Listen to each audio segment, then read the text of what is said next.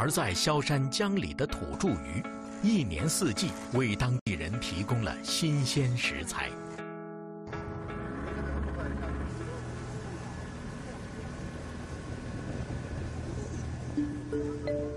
先民早期就以捕鱼为生。渔民汪慧林从十六岁开始随父亲捕鱼，至今已有四十多年了。每次涨潮前，老汪都会和老伴儿一道在江中撒网。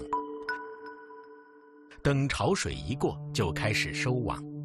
这一次，他们用的是一张四百米长的大网，但貌似今天的收获不是太好。去年都是鱼类。去年个修不起，常常网面上的鱼，都是一个单一个，一单一个。抓一网好几百斤嘞。二零一九年，老汪靠捕鱼赚了七十多万元。但是，二零二零年由于八月份洪水过境的原因，大量的鱼随着洪流流进了泄洪的河道，钱塘江的鱼反而少了很多。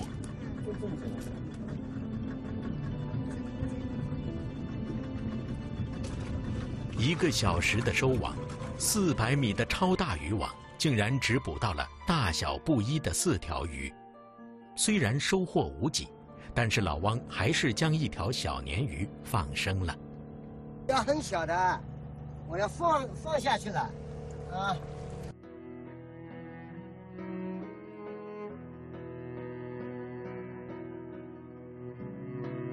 渔民都深谙与大自然的相处之道。何时该进补，何时需放生，他们都严格遵循着自然法则。只有更好的保护钱塘江，才能让他们的生活世代无虞。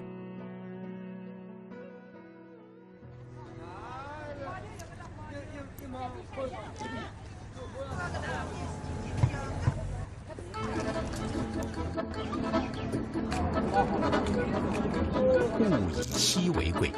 捕捞的江鲜数量锐减，必然会导致价格上涨。文堰码头附近，渔民们将打捞上来的江鲜在一处集中售卖，久而久之，形成了当地最有特色的江鲜一条街。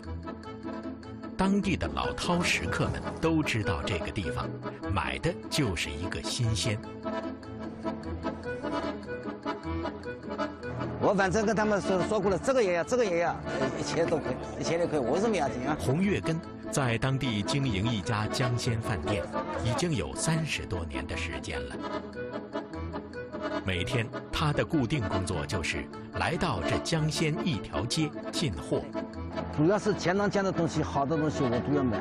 现在的就是金，就是都是进货，这个船丁、虾，他们进的。农业饭店都是江里的东西扎起来的。这个就是江里面的刀鱼，刀鱼是也是钱塘江里面上等的鱼。如果是上半年的话，要几千块钱一斤。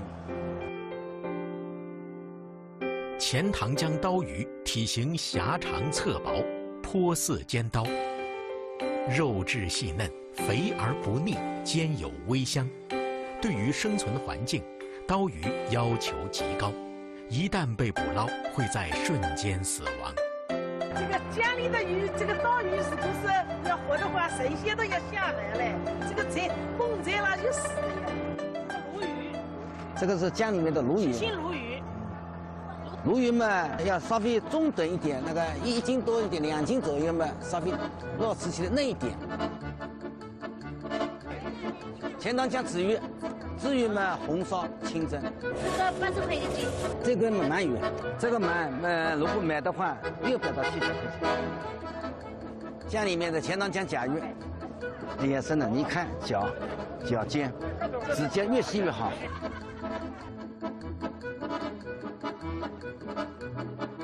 这个钱塘江的螃蟹，野生的就是越长越尖越好。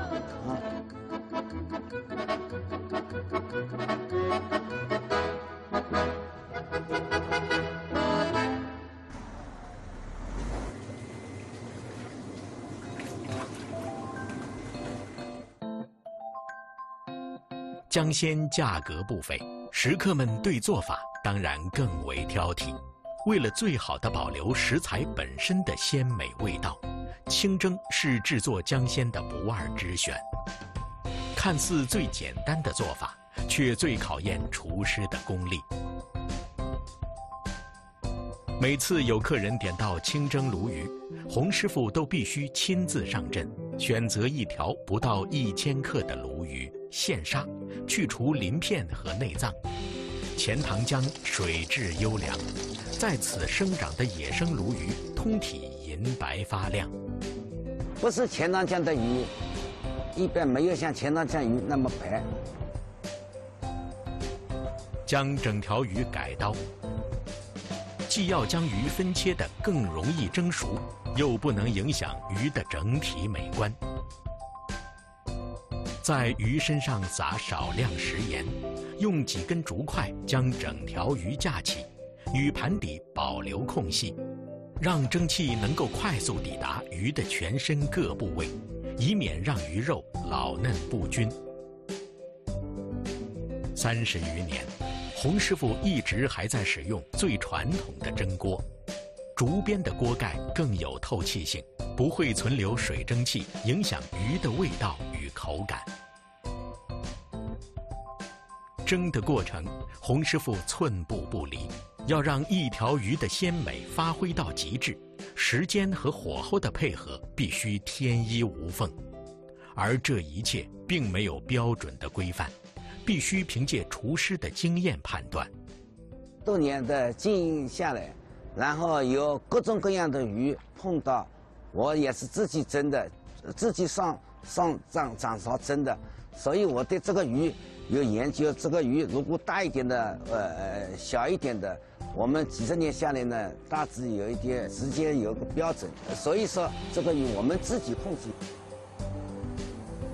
对于一条不到一千克的鲈鱼，大火五分钟的时间差不多刚刚好。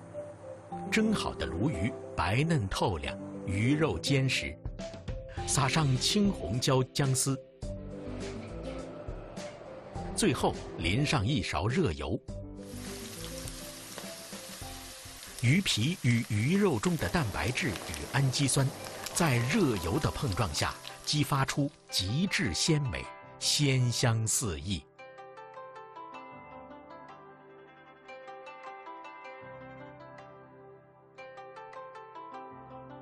鲈鱼适合清蒸，而体型庞大、肉质厚实的胖头鱼更适合制作秘制鱼丸。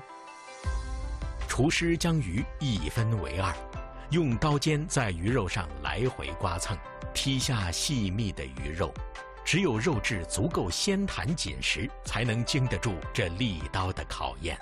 在潮水中翻滚长大的钱塘江鱼，正是凭着风浪里锻炼出来的好身骨，保持了鱼肉最好的弹性。前段时间有潮水，这容易这个鱼呢，呃，也经过有经过风浪锻炼，锻炼了以后呢，这个鱼呢就感觉呃口感了，这种吃起来就很好。将刮下来的鱼泥像剁饺子馅儿一样大力剁碎，再放入搅拌机中，加入适量水，打成更加细软的鱼泥。然后用筷子不停顺时针打圈搅拌，直到上劲儿，撒入食盐，再次搅拌，将鱼肉的弹性彻底激发。最后，厨师用手挤出鱼丸的形状，用勺子稍加修饰，放入冷水中，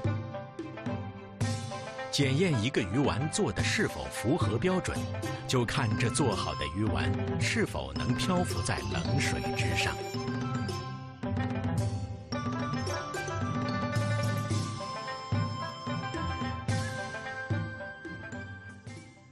大火将水烧开。将鱼丸置于沸水之中，直至熟透。煮熟的鱼丸比之前的体积略大，圆润精致，韧性十足，落地反弹。